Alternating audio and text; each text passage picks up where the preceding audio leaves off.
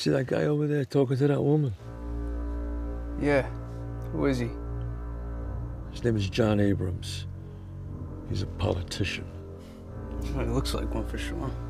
Yeah. He's a fraud. He did some fucked up things to someone we know very well. He thinks he's untouchable. He's not. No one is, Paulie. No one.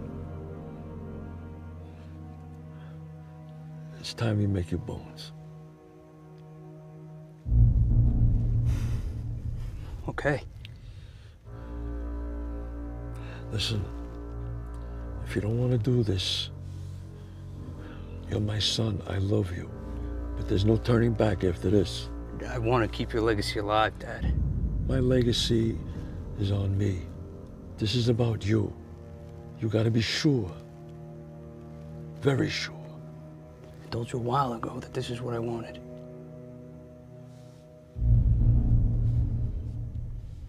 I finally get this moment to shine and show what I've really got. I'm not gonna fuck it up. I got this.